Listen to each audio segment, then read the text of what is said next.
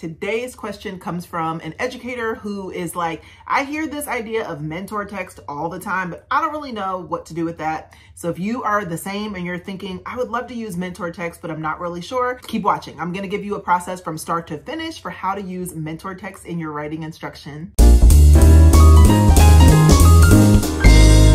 Welcome back. My name is LaNesha and I love to talk about writing. So if you are here, please make sure you subscribe and check out all the videos on my feed. Check out the different playlists. If you have a question that you would like to see answered in an upcoming video, always feel free to leave that comment below. Now let's go ahead and get into today's question about mentor text. So what I have is a five-step process that I'm going to just walk through exactly what you need to do in order to use mentor text in your class. So first, let's just talk about what is a mentor text. It can literally be anything. I loved reading books by Katie Wood Ray years and years and years ago. She had a mantra that she would always say, and it would be, if you can stack it, you can study it. And then she would go through and she would show how she would collect pieces of writing that were high quality and that they also emulated what her students were supposed to write and she would teach those pieces of writing to her students and they would point out the why it's high quality and now here's the deal let me just stop right here because I also have read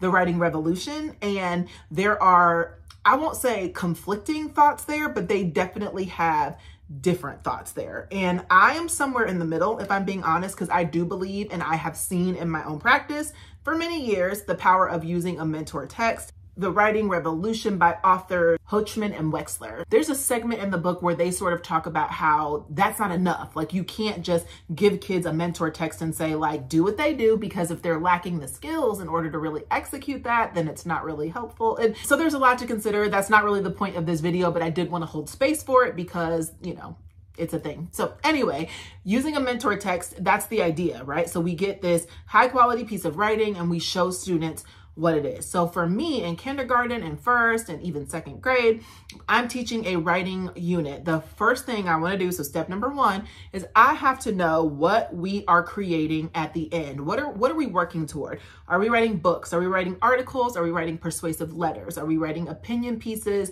What is the product? Because if I don't know what it is that my students are supposed to be doing by the end of this unit, I don't know how to pull in a mentor. I don't know how to find the mentor.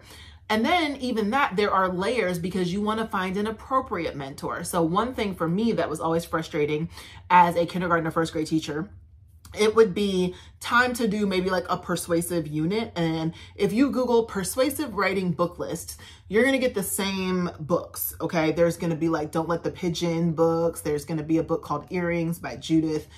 Last name starts with a V. Um, and here's the thing for me, those books were great at getting my students to move in the direction of conceptually understanding what it means to persuade. But when it came time for them to actually write something, they were trying to write pigeon books. They were trying to ask for something in the same way that the earrings book did because the model was not something that looked like something they were able to recreate or to create their own version of. And so mentor text can be tricky because I think both are important. So on the one hand, I do want to provide quality pieces of literature, but I also have to consider I need to show them something that looks like what I want them to produce. So a couple things to consider here. Yes, we need the picture books and it can even not even be a book. It might even be an article that you print off of the internet. Maybe you found it in a magazine. Maybe it's a poem. Whatever it is, you want to look at this piece of writing and think, yes, my students need to see this because then they can look at this as a teacher for their writing pieces. Great. There are times where I'm jumping into something and I simply cannot find anything that I need. Can't find a book, can't find an article. What am I supposed to do? Enter the teacher mentor text. You write your own. I even like to do both. If I can find books that are already published, great, but I'm always going to create a teacher version of it. Okay. So that before we get into like the specific steps, that's like the overview of like why we need mentor texts. Where do we get them from? What's the point of them, right? It's it's so that we can show our students where we're headed. Okay, it's like without vision, the people perish. Okay, so we need to have a vision. Um, one thing I also heard Katie um, Wood-Ray say one time, she was just giving different examples of how this is what we do in our lives. Like we always want a writing mentor. Um, if you, I remember her specifically saying, if you were asked to write an obituary for somebody in your family who, or a friend that passed away, one of the first things you would probably do is you would look up other obituaries and you would say, okay, they open by including information about their early life and then they move on to this. And like you would look at the structure, you would compare a couple versions and then you would be able to sit down and write because obituaries are something that most of us are not writing every single day unless that's your job. And then, um, and so if you're not writing those every single day, you probably don't have a really clear idea for the structure or like what needs to be included. And so you're going to look up some versions and that is basically what a mentor text is.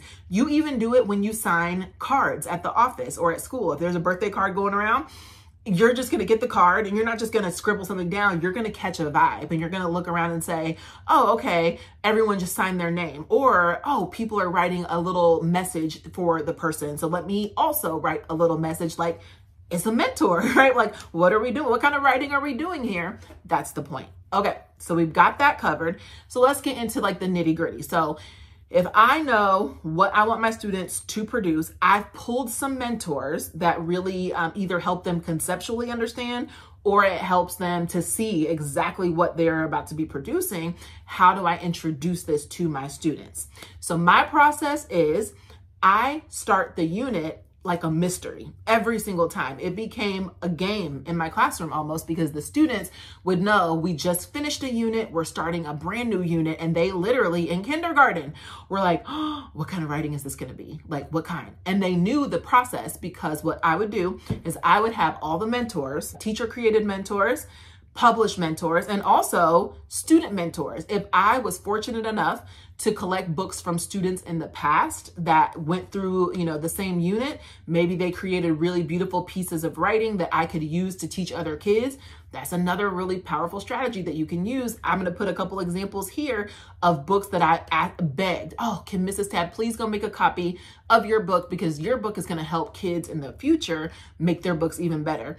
I was super fortunate this year. Uh, the school that I worked at had a color copier. I was able to go make some color copies, make a, a version for myself, and send that student home with their book. And so I've got this stack, right? Published, teacher, and student mentors. I don't tell the kids what the books are. It's a game. It is your job to guess. Now, as the teacher, depending on the grade level, you have to make it obvious enough so that they can catch what kind of writing is happening and I do that by thinking aloud very clearly. So let's just talk about an example here. Let's pretend we're jumping into a unit and it's all about informational writing. So we're going to be picking topics. We're going to be uh, the experts. We're going to be including facts, information, all the things. Okay. Um, which also another quick tip for this sort of writing, if you're a kindergarten first grade teacher, look in your guided reading library because those books are probably not even being used anyway, especially with the move towards more decodable readers. You might have a library full of guided, you know, leveled readers. And you're like, what do we do with these? Pull them because they might make really great mentors for writing. Because usually if you pull a book that's at a level D, E, F, it's going to have the amount of text that the kids are probably able to write in their books as well. So look in your guided reading library. That was a game changer when it came to this. So I'll show you even here a few examples. I pulled these from my guided reading library and they were all examples of the books that we were about to write, but I didn't tell them. I just read them out loud. So I pulled up this terrific Tigers book. And as I'm reading it, I was very obviously saying, Wow, I am learning so much about tigers. This book is full of information about tigers. And I, I do the thing. I put the tiger book away. I pull out the next book. Maybe it's about houses. And I read it, right? And it takes like a minute to read because it's a leveled reader. And I go through and I go, oh, wow, I just learned a lot of information about houses. Can you guys believe that this is so much information about houses? There's facts, there's examples, you know, and I'm doing the whole thing. And so the kids are very obviously able to see where I'm headed. Then I pull out my teacher example and I say, oh my gosh, this book is all about one thing and it's giving information. So I keep saying the same things over and over and over and we make a list. So I might get out uh, my screen if I have a smartboard or if I have a chart paper and I might say, okay, so far, guys, what do you notice about this? And I'll give you an example here. Like I would do this digitally and I would talk about the different things that we were noticing in the books and I would record them at the top. So it might be like, oh, all these books are about one topic. So that would be at the top. And as we read the book, I would drag a check mark over and say, okay, was this book about one topic? And they'd be like, yeah. Did this book give us facts and information? Yeah. And so we would put check marks.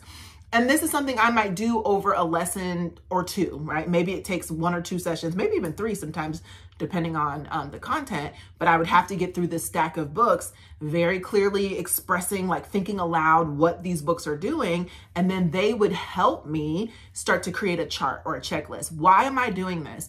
I'm trying to get them to have a crystal clear picture of the kind of writing that they are about to do. I'm trying to make sure that they know without a shadow of a doubt, we're not making stories this time. We're not writing articles this time. Now we have moved over and we're going to be making articles or we're going to be making books that give information that are about one topic. So if I'm walking around and we're collecting ideas and we're starting to get this unit going and I see a story about princesses flying around in outer space, I can very clearly pull my stack of mentors out and I can say, does that book really do the same kind of work that these books are doing? And they can pretty much say yes or no, which brings me to another very important part of this. So you can see we're going through check, check, check, everything's green. Throw in a non-example. Okay, so you can see here is this little silly monster book. So after I've read book after book after book, they all are about one thing. They all are informational, you know, doing the whole thing. Then I'm to pull out a book like this, like Monster, you know, whatever it is. And the vibe is so different that even in kindergarten, they're like, that doesn't really, and then I'll say, oh my gosh, does this book belong in this pile? And I'm telling you, the entire class will say, no, that book was silly. That book wasn't even real. That book was, it just didn't match. They can understand that is a different kind of writing. There's a time and a place for that kind of writing, but it's not during this unit. And it is such a powerful way to get kids to get into the genre of writing. And so while I didn't like bullet point the process out, that's basically what you would do. It'd be like step one, you have to know where you're going and collect the mentor text. Step two, you have to make sure you have student examples, teacher examples that also match the level of writing that your students are going to be doing. Once you have that, you're going to read the books, you're going to study it, you're going to think aloud, make sure that your students can really hear what the books are doing. Then you're going to have step four, collect notes on it or do some check marks and X's, throw in a non-example so that they can see this book fits, this this book does not. And I, I say book a lot because I'm so primary based, but it does not have to be a book. If you guys are writing articles or poems or whatever it is, just substitute that word in your mind for me. And then that last piece is to just really make sure you're holding them accountable and making sure that all of your students are within the scope of the work for that unit. So if we're writing informational pieces, I'm going to be armed and ready with that stack of mentor text to remind them this is the kind of work that we're doing. I'm going to have the chart available so they can look up and see when I am thinking of ideas today. If we're doing informational writing, I need to be thinking of one topic that I can write all about, that I know a lot of information about. And then the cool thing is, as you're studying these mentors, things are going to come up that they're going to see and they're going to be like, oh my gosh, I can put that in my book. Like that tiger book that I showed you. It was an informational book. It was a leveled reader, but like, look at all the nonfiction text features that are in there that we were able to study. And then they were able to put those things in their writing. So they saw labels, they saw like maybe captions. They even realized these are photographs and not drawings. So could I maybe write on a paper, take a picture of my writing and then put it in Seesaw? Because if they could do that, they could bring in real pictures that they found on the internet of their topic. So if they were writing about you know, puppies, they would go online, they'd find pictures of puppies to match their writing and they would put it in there. No problem. So those are the sort of things that made this work so powerful. So if you were thinking about doing a mentor text, give it a shot. All of my writing units that I offer inside of my Reimagine Writing program, every single one of them that is genre specific starts with that process. I include mentors in there. I've wrote them myself. They are pretty close to what I would expect students to be doing on that grade level, but that still doesn't mean that you can't create your own. You know, I literally just pull up PowerPoints and pull in pictures and words, and I create my own mentor text all the time. And again, if I do find published books that do the work of it, great. But I find a lot of times creating my own are really helpful because I can just really put the components that I want to see in my kids' writing right in there. Okay, so I so like I said, all of my units sort of start off with the exact same process. It becomes like a fun little game for most of my students and they're so excited like, what kind of writing are we gonna be doing next? We just finished informational and then maybe I'm gonna repeat the process the next month when we're doing a new unit, but with poems. But I'm not gonna tell them that it's poetry. I'm just gonna read a poem and I'm gonna say, oh my gosh, wow, those words really made me have such a strong feeling. And oh, and I'm gonna read another poem and then read a bunch of poems. And then I'm gonna throw in uh, an informational book and say, does this fit? And they're going to say, no. It helps them catch the vibe. So mentor texts are so, so powerful. I hope you try them. Uh, what are your favorite mentor texts that are published? If you want to drop them in the comments below, I always love just having a community of people, you know, to share those published mentors, even if it's one that doesn't really show kids exactly what they're supposed to write, but it gets the conceptual piece there. Drop those in the comments. I would love to see your recommendations, especially if you have some that are like, not as well known or maybe they're newer books. Because um, like I said, you can Google a list and a lot of the lists are very similar. And so I love to find new books that really get at the heart of a particular genre or even just being a writer. So share away. Um, but thank you so much for tuning into this video. I hope you found it helpful. If you did, you know what to do. Please share, like, subscribe, all the things. I would really, really appreciate it. And I will see you in the next video. Don't forget, we release videos every Tuesday and Thursday. See you next time.